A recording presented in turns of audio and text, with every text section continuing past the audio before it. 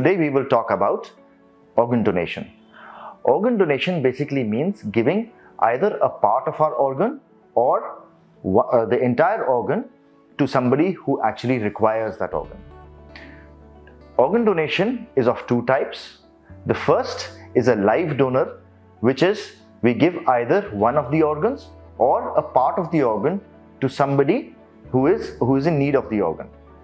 The second is a deceased donation in which we give the entire organ or both the organs in case of twin organs uh, to somebody who actually requires it after our death. In India, around 2 lakh people suffer from end stage renal disease annually. The number of transplants being done uh, for end stage renal disease is at around 10,000. So the gap between the demand for organs versus the number of organs that are available for transplant is huge. With organ donation, we can actually help, we can narrow down this gap tremendously. As we all know, the increasing incidence of alcohol intake amongst younger generation, the increasing incidence of diabetes and of viral hepatitis is all leading to increased incidence of end stage liver disease or cirrhosis as we all know it.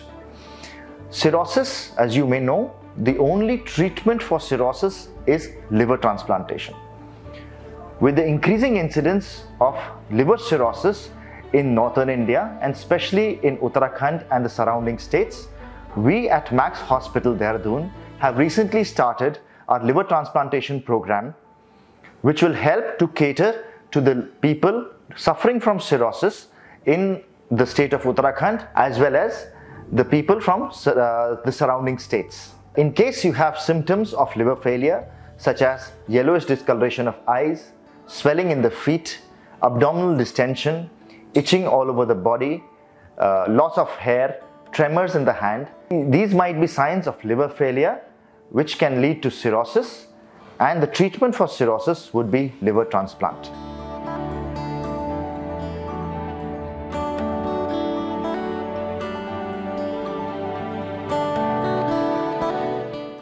Subscribe to our YouTube channel and press the bell icon to get the latest healthcare updates.